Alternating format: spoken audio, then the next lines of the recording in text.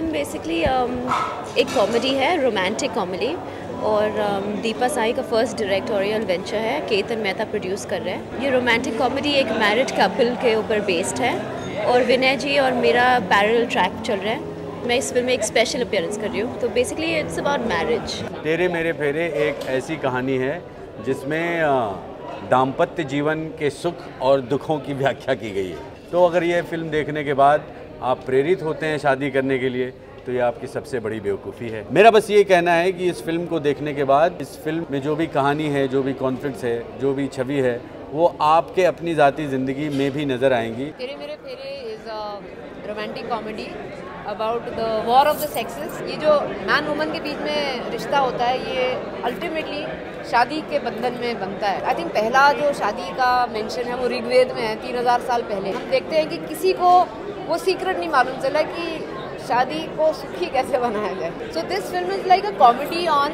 man woman relationship